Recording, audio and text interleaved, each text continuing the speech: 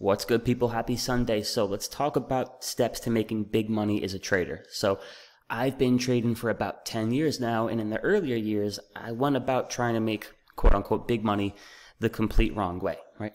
Taking big risks relative to my you know account, always trying to hit home runs, right? Always trying to catch the very bottom to the very top. Not so much a focus on actually trading well, right? But just trying to always force the issue in the pursuit of the big money. You know, over time, guys, as I've grown as a trader, what I've learned is that, you know, the steps to making big money, first and foremost is to master a setup. You know, if you're going to trade, you know, full time, part time, if you're going to trade, you got to treat it like a business, right? And I'm a big believer, guys, in mastering a setup and then focusing on nothing but your setup. Also want to focus on executing the setup the same every time. And then GYP, get your piece. And then, guys, you just slowly scale into bigger sizes as your account grows, right? Everything in trading, as far as how much you can make on a daily, weekly, monthly, yearly basis, should be relative to your account. You know, where the problems come into play is when a new trader opens up an account with $1,000 or so and is already trying to make a couple thousand dollars a week, right? You're really forcing the issue. So, you know, the whole focus of this video, guys, is to kind of show you that, you know, modest moves caught with good size and consistently can ultimately create some serious gains, right, on a daily and weekly basis. And you can do so without that need for the home run mentality. Right, so for me, guys, it's all about consistency and repeatability. Personally, and again, this is all relative. So remember that any kind of goals or aspirations we have as far as, you know, weekly, monthly profits, they should be appropriate relative to your account size. So a trader with fifty to $100,000 of capital should have much different goals than a trader with 500 to a 1000 to $10,000 of capital. So, given my personal circumstances, guys, my quote unquote goal is to average about $10,000 a week. $10,000 a week, 50 trading weeks in the year is about half a million dollars a year. Right? That's a, obviously a lot of money, but the thing is, right, and if you're a new trader, you really got to understand this is that that can be accomplished when it's realistic relative to your account size. Right? in my aspiration, guys, are making five, six hundred thousand dollars a year. I'm not approaching the market with this home run mentality, right? I'm not approaching the market with the thought process that I got to size into this move and I got to put that risk on the table and this trade better work. Otherwise, I'm shit out of luck. For me, guys, it's just more so mastering a setup, focusing on nothing but that setup, trying to trade it the same exact way every time, and then getting my piece of the move. And then, of course, as your account grows, as your position sizes grow, so do those profits. So, in the spirit, guys, of this conversation, right, I'm going to show you guys my Thinkorswim account from last week. All right, now I go Friday to Friday, so you're looking at August 21st to last Friday, which was the 28th. Mind you, guys, I traded nothing but the squeeze setup on different time frames, of course, but the entire focus was and is going to continue to be nothing but my go-to setup, which is the squeeze in which we got plenty of videos here on the channel. So you can see guys over the last week closed about $7,000, $7,180 of profit doing nothing but trading the squeeze. Right. What I think is a little bit more important though guys is over the last you know week or so, look how much capital I put to work. Right. Put to work about 90,000 plus dollars. So $7,000 of profit in a week sounds awesome, right? That sounds like a huge week. But what I want to show you guys is that, to be honest with y'all, if I had to give myself a grade, you know, how did I trade last week? I kind of give myself a B. You know, well, I closed $7,000. Had I held on to a couple of those moves a little bit longer, we're looking at 20 plus thousand dollars. But nonetheless, guys, $7,000 is nothing to be upset about, you know, at least not in my world.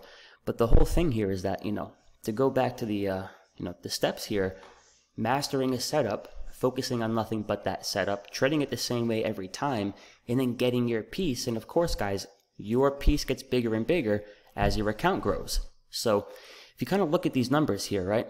Nothing but the squeeze setup. And all I did, guys, was get a really modest piece of each of those moves, right? Now, on those squeezes, I was risking anywhere from $2,000 to ten, twelve thousand dollars. But the point is, guys, I put ninety thousand dollars to work and closed about seven thousand dollars of profit. That is just about an eight percent return on capital, which I want you guys to kind of put that into its perspective. I didn't make seven thousand dollars by forcing big position sizes into a trade and trying to milk the whole move and exiting at the top all I was doing, guys, is finding nice, simple squeezes, right? Just like this NVIDIA two-hour squeeze, right? We come into Friday, we had a two-hour squeeze and a four-hour squeeze here on NVIDIA. I jumped into that move, guys, with about four to four and uh, four thousand five hundred dollars, and I just got about a twenty-five percent return. It was about a twelve hundred dollar profit. It's my go-to setup. I took a position size that's very appropriate relative to the capital available, and I didn't catch anywhere near the full move, guys. I think I got out of this bad boy at 522. It would have been a much bigger trade had I held, but it doesn't matter. Because when I'm waking up every morning and I'm putting together this spreadsheet that you guys and girls in the Focused Trades group know we look at every morning, this is my go-to setup, right? So I want to master this setup and I want my focus to be on nothing but this setup. So every morning I'm coming into the market I'm running my scans. I'm putting nothing but the best setups, my go-to squeezes on my spreadsheet here. And then I'm literally sitting here, guys, waiting to take action on my go-to trades. We got Peloton right here. That got thrown onto the watch list. Daily squeeze is firing. So we're releasing just shitloads of energy here. Big time move. And then before the close on Friday, we go into a beautiful 15 minute squeeze. So I jumped into there with some calls. You know, this is much like the trade a couple of days ago in CRM. CRM, guys, explodes on earnings, pumping like crazy. You get a short break in the action with the squeeze here, jumping into that on the 27th. Really quick trade before the close for a good seven, eight hundred bucks. And again, that was about a 20, 25-ish percent return. So, you know, you look at this, guys, right? None of these trades were home runs. None of these trades, you know, that I put in more size than I needed to, and they were all very modest returns. I think my biggest return percentage-wise this week was about 38%. Right.